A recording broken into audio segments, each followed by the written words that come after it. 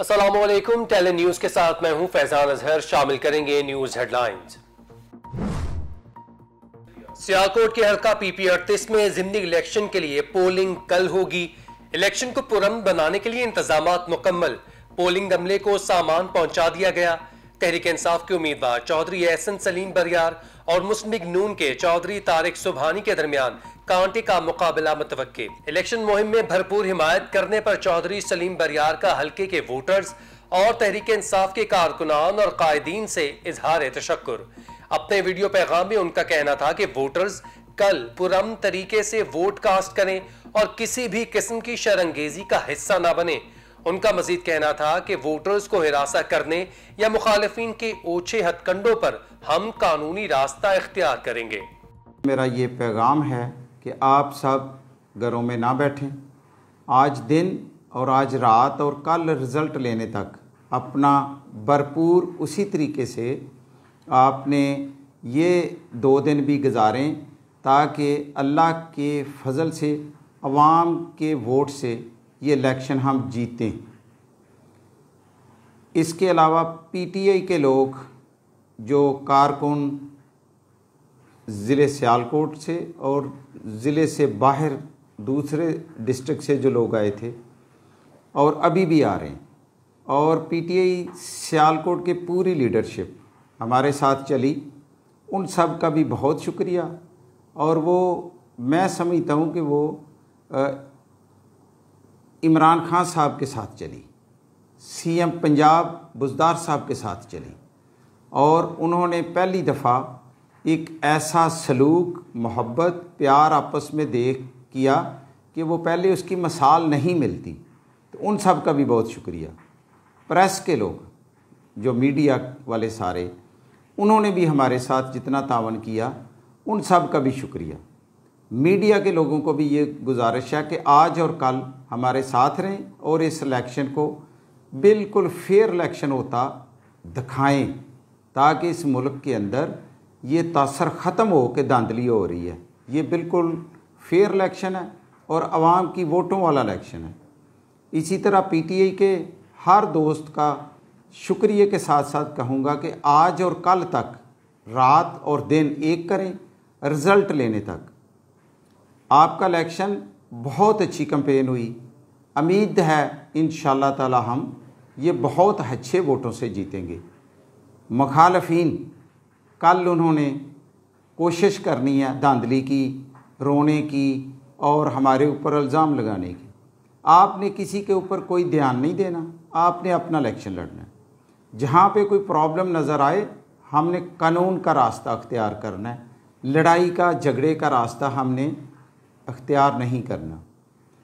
Election campaign के दौरान हमसे जो हुआ, अखलाकियात में रहते हुए, हमने उनकी सियासी तौर पे उनका मुकाबला किया और सियासी बातें की। उन्होंने हमारे ऊपर कीचड़ उछाला और गलत गुफ्तगु की। कोई बात नहीं, छोड़ दें। हम इसकी तरफ़ जाना ही नहीं है। जो होना था वो हो गया। मेरा, उनके लिए भी ये पैगाम है कि अब वो भी इलेक्शन लड़े, हम भी इलेक्शन लड़ें। अगर हमने कोई उनके ख़िलाफ़ ऐसी गुफ्तु की है जो उनको पसंद नहीं आई तो उनको भी छोड़ देना चाहिए। और अगर उन्होंने हमारे ख़िलाफ़ कोई ऐसी बात की है सहत की है, गलत की है, सही की है, वो इलेक्शन में ऐसे ही चलता है। एक दूसरे के ख़िलाफ़ हम बातें करते हैं। वो हमारे साथ उन्होंने की, हमने उनके साथ की, वो वक्त गुज़र गया। छोड़ें सारी पुरानी बातों को। अब वो भी इलेक्शन पे ध्यान दें, हम भी इलेक्शन पे ध्यान दें।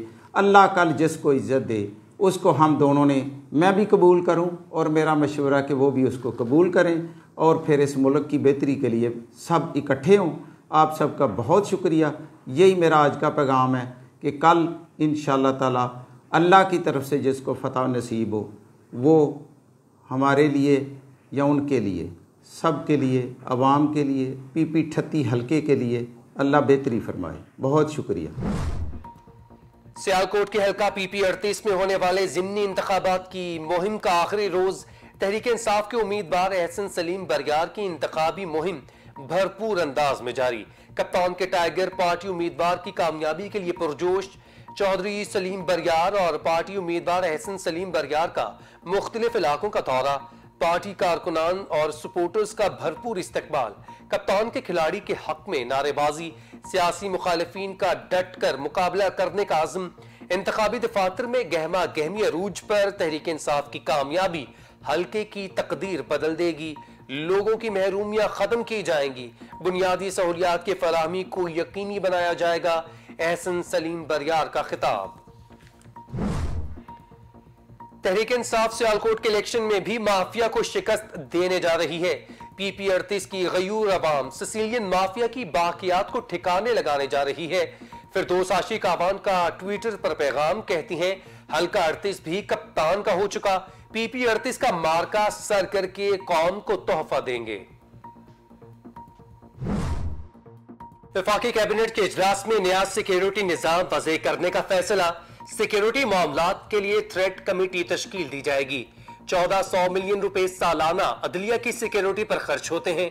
वफाकी कैबिनेट के इजलास के बाद फवाद चौधरी की ब्रीफिंग। कहते हैं अपोजिशन को कश्मीर में शिकस्त तस्लीम कर लेनी चाहिए। कश्मीरी अवाम ने इमरान खान की क्यादत पर एतमाद का इजहार किया है। पाकिस्तान तहरीक इंसाफ वाहिद हुकूमत है, जिसने शफाफ इंतबात को यकीनी बनाने के लिए इकदाम उठाए। शहजादा फैसल बिन फरहान की पाकिस्तान आमद, शाह महमूद कुरैशी और सऊदी वज़ीर खारजा की मुश्तर प्रेस कॉन्फ्रेंस। शाह महमूद ने कहा, सऊदी अरब की खुशहाली पाकिस्तान की तरक्की है, मसला कश्मीर पर सऊदी मौकफ काबिल सतश है। अफ़गानिस्तान की सूरत हाल समेत वफूद की सतह पर बातचीत हुई। शहजादा फैसल बिन फरहान ने कहा, पाकिस्तान और सऊदी अरब के दरमियान मज़बूत ताल्लुक दहाइयों पर महीत हैं। मुश्तर ताल्लुक बढ़ाने के लिए पुरज़म है खत्े की सिक्योरिटी और इस्तेकाम के लिए मिलकर काम करते रहेंगे। मुशीर बरए कौमी सलामती डॉक्टर मोईद यूसुफ का दौरे अमेरिका। मोईद यूसुफ अमरीकी हम मनसब और दीगर आला अहदेदारान से मुलाकात करेंगे। दो तरफा ताल्लुक समेत दीगर मुतल अमूर पर गुफ्त शनीद की जाएगी। अफ़गानिस्तान की सूरत हाल पर भी तबादला ख्याल होगा। पाकिस्तान में पनाह लेने वाले 40 अफगान फौजी इज़्ज़त और एहतराम के साथ अफगान हुकाम के हवाले। आई एस पी आर के मुताबिक अफगान फौजियों को उनके असलहे और साजो सामान से साथ ही रवाना किया गया। अफगान कमांडर का कहना था कि वो सिपाहियों की बेहतरीन ख्याल रखने पर पाक फौज के मशकूर हैं। अफगान फौजियों ने 25 जुलाई को पाक आर्मी से पनाह की दरख्वास्त की थी।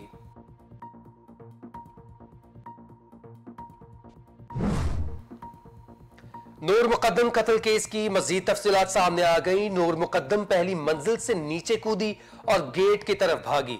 मुलजिम ज़ाहिर जाफ़र उसे घसीटते हुए अंदर ले गया। करीब खड़े गार्ड ने भी छुड़ाने की कोशिश न की। सीसीटीवी की नई फुटेज के मुताबिक बहाली मरकज की टीम वाकई के काफ़ी देर बाद पहुँची नूर मुकदम ने कत्ल से दो दिन पहले अपने ड्राइवर से सात लाख रुपए का फौरी इंतज़ाम करने को कहा।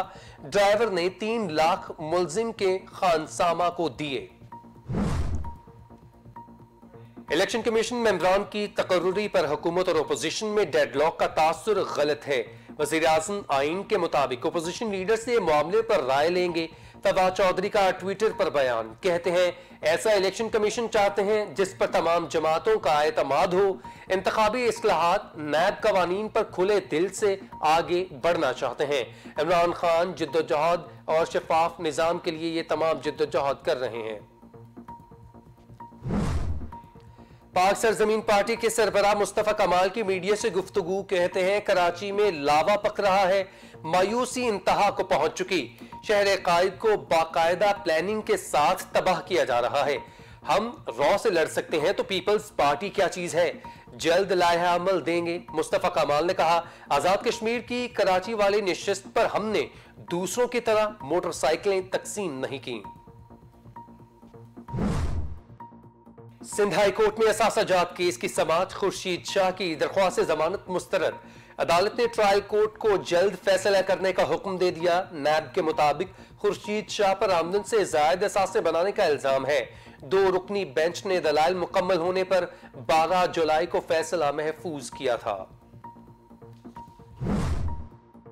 इस्लामाबाद रावलपिंडी में बारिश से मौसम खुशगवार। आज पंजाब और खैबर पख्तूनखा में बादल खुलकर बरसेंगे। महकमा मौसमियात की मुल्क के मुख्तलिफ़ शहरों में 30 जुलाई तक तूफानी बारिशों की पेश गोई। दरियाए जहलम और चुनाव में तुगयानी का खदशा। रावलपिंडी, गुजरावाला, लाहौर, फैसलाबाद में अर्बन फ्लडिंग का खतरा अलर्ट जारी। कराची में बूंदाबांदी मतव कश्मीर में भी तेज हवाओं और गर्ज चमक के साथ बारिश हो सकती है। मुल्क भर में कोरोना वायरस का फैलाव तेज मोहलिक वायरस मजीद उनतालीस जाने ले गया। 24 घंटों में दो सौ बासठ नए मरीज़। मुस्बत केसेस की शराह, छह अशारिया छह रही। खैबर पख्तूनखा में घर घर कोरोना वैक्सीन मुहिम कल से शुरू होगी। एन सी ओ सी की आवाम से वैक्सीनेशन की अपील। शहर कायद में कोरोना वायरस की चौथी लहर में मजीद तेज़ी, सिंध हुकूमत के सख्त फैसले, शहर में ट्यूशन सेंटर्स फौरी बंद करने का हुक्म। शहरी शाम छह बजे के बाद घरों से ना निकलें, गैर ज़रूरी बाहर निकलने पर सख्त एक्शन लिया जाएगा। वज़ीर अला सिंध की आईजी और कमिश्नर को हिदायत, शहरियों की बेहतियाती जारी रही तो मजीद सख्त इकदाम उठाएँगे। मुराद अली शाह ने आवाम को खबरदार कर दिया। खैबर पख्तूनखा में नवी और ग्यारहवीं के सालाना इम्तहान का आगाज़। आठ तालीमी बोर्ड में कुल छह लाख बहत्तर हज़ार एक सौ छियानवे तलबा इम्तहान देंगे। नवी जमात के चार लाख पंद्रह हज़ार नौ सौ बासठ तलबा और ग्यारहवीं जमात के दो लाख छप्पन हज़ार दो सौ चौंतीस तलबा इम्तहान में हिस्सा ले रहे हैं। मंडी बहावदीन में अदालत पेशी से वापसी पर चोट, धेरा के करीब नामालूम मुसल्ह अफराद की कार पर फायरिंग, चार अफराद मौका पर जहाँ बहा। कत्ल होने वालों में मोहम्मद मुतीन, आकिब अली, महबूब इलाही और मोहम्मद खान शामिल। कत्ल की वारदात पुरानी दुश्मनी का शाखसाना मालूम होती है। पुलिस का मौकफ, लाशें टीएच के अस्पताल, मलिकवाल मुंतकिल। वारदात पर डीपीओ मंडी बहावुद्दीन का नोटिस, मुलजिमान की गिरफ्तारी का हुक्म। भारतीय सदर की मकबूजा कश्मीर आमद पर वादी में मुकम्मल हड़ताल। श्रीनगर फौजी छावनी में तब्दील। कश्मीरी रहनुमाओं का कहना है कि अमरनाथ का दौरा आलमी बरादरी को मकबूजा इलाके में सब कुछ मामूल के मुताबिक होने का तासुर देने के लिए रचाया गया। हुरियत कॉन्फ्रेंस के मुताबिक हड़ताल का मकसद दुनिया को मकबूजा वादी में भारतीय मुजालिम से आगाह करना है। अमेरिका का अफ़गानिस्तान के बाद इराक से भी फौजें निकालने का ऐलान। अमेरिका रमा साल के आखिर तक इराक से अपनी फौजें निकाल लेगा। अमेरिका के सदर का कहना है कि इराक की अस्करी मुआवनत जारी रखेंगे। इस वक्त इराक में अढ़ाई हज़ार अमरीकी फौजी मौजूद हैं। पाकिस्तान की अस्करी तारीख का पहला और सबसे बड़ा एजाज निशान हैदर पाने वाले कैप्टन राजा सरवर शहीद का तिहत्तरवा यौम शहादत आज मनाया जा रहा है। 27 जुलाई 1948 को राजा सरवर ने कश्मीर उड़ी सेक्टर में दुश्मन की अहम फौजी पोजीशंस पर हमला किया। दुश्मन का जवान मर्दी से मुकाबला करते हुए जाम शहादत नोश की। पाक फौज का कश्मीर की जंग में बहादुरी, शुजात की दास्ता रकम करने पर शहीद कैप्टन मोहम्मद सरवर को खराज अकीदत उन्नीस साल पाकिस्तानी को पैमा ने मुल्क का नाम रोशन कर दिया। शहरोज काशिफ ने माउंट एवरेस्ट के बाद के टू सर करके सबसे कम उम्र पाकिस्तानी को पैमा का एजाज हासिल कर लिया। शहरोज ने सुबह आठ बजकर दस मिनट पर के टू सर की और वर्ल्ड रिकॉर्ड कायम कर दिया। चार दीगर कौमी कोह पैमाओं ने भी ये एजाज हासिल किया। और टोक्यो ओलंपिक्स में फिलिपाइन का गोल्ड मेडल जीतने का सतानवे साल इंतज़ार खत्म। हेडलिन डियाज ने फिलिपाइन को पहली मरतबा गोल्ड मेडल दिलवाकर नई तारीख रकम कर दी। वुमेन्स वेट लिफ्टिंग में 30 साल हेडलिन डियाज ने 55 किलोग्राम कैटेगरी के आखिरी राउंड में चीन की world record holder Yao Kevin को शिकस्त दी। ये स्टूडियो से फिल वक्त ही। मजीद खबरों से बाखबर रहने के लिए आप देखते रहें टैलेंट न्यूज़